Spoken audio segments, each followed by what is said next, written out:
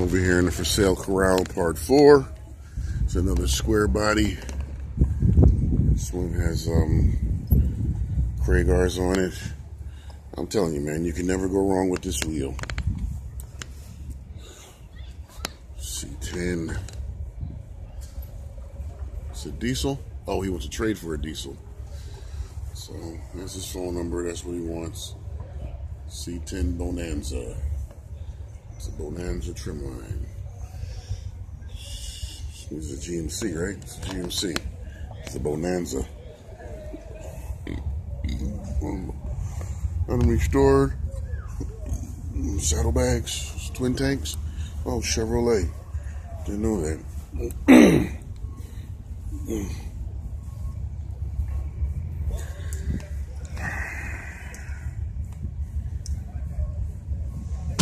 Got some Cracky right there.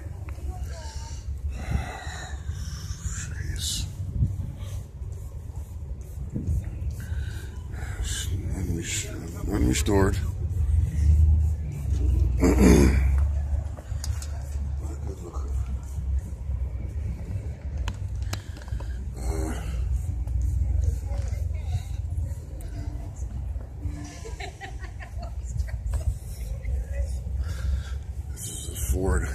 F100 custom. See.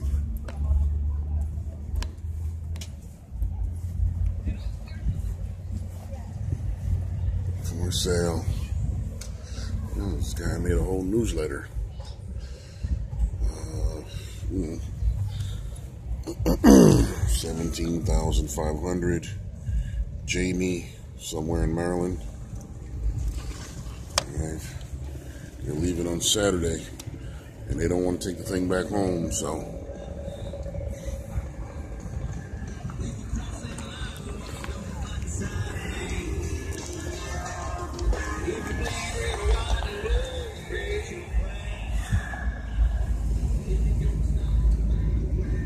Yeah, it's a very nice looking truck for its age. 1972. That's a 72 grill. Yeah, I noticed the turn signals came down here versus being above the grill. I don't know what that's about, but 72. And over here, we got a stake truck next to it. stake truck. This is a Chevrolet. Stake bed, dually axle. I bet that frame is boxed. Oops.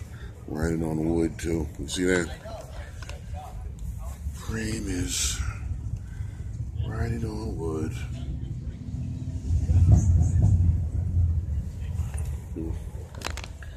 I have no idea what they think to do. This is a C30, two-wheel drive. Manual.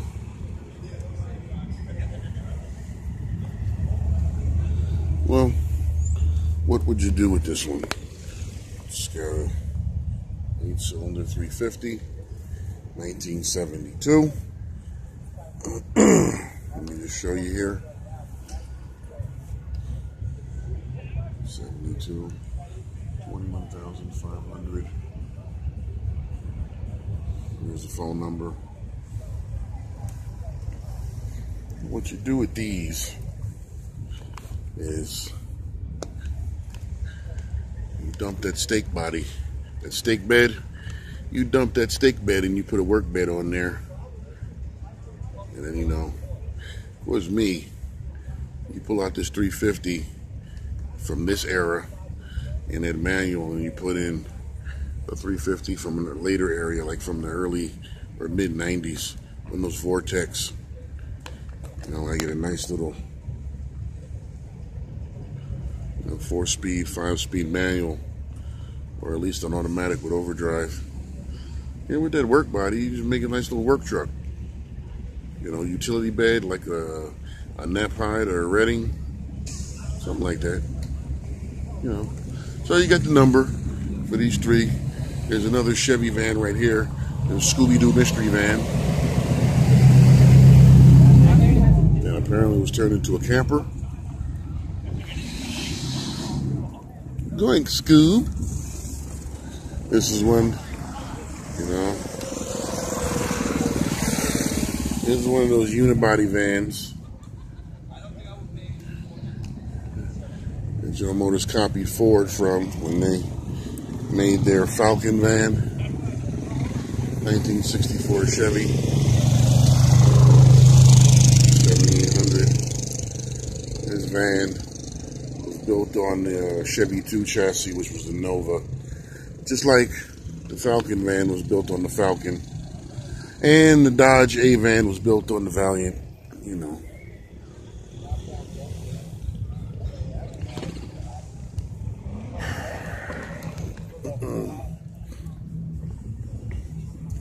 I don't know, man. All the concession places are closed. So if a guy wanted a sausage, just uh, I'm out of luck.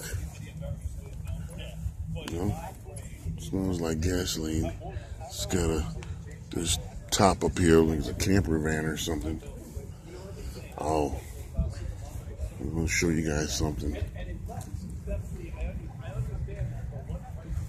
Show you guys something. It's What do you awesome. Yeah, it's a Scooby Doo. Scooby Doo? Scooby Doo. It could be you. Yeah, right. It's just you and Shaggy, and then uh, Yeah, going down to the Bottle Redemption Center. You make a mystery van? You gonna make a mystery van? I was gonna, you know, I was trying to recapture my youth, Yeah, right, right. and I just, I, I bought it, and I'm like, yeah, yeah. This is where I'm at with it. It's a neat old van. You don't see them anymore. No, you don't. You know, you can't go wrong with those Cragars, though. Uh, yeah. Those Cragars. I had those in the garage Oh yeah. for years. Yeah. So everybody else got them in the garage. I bought them from a guy. Yeah, He had them in the garbage. He didn't even want them. They don't want them. Those are Cragars, man. They make Yeah. everything look good. Yeah. Right. Exactly. They make every- back in the day, right? Yeah, but they make everything look good now. Looks good with. Even now, you put those wheels on anything. You put them on a school bus. Right. you know. Right. You know, but uh, all right, guys, this is for sale corral part four. So I got the numbers for these guys. If you like them, just uh, stop, pause the video, scribble down the number, and give the owner a call. Cause I've got to get myself something to eat. All right, thanks.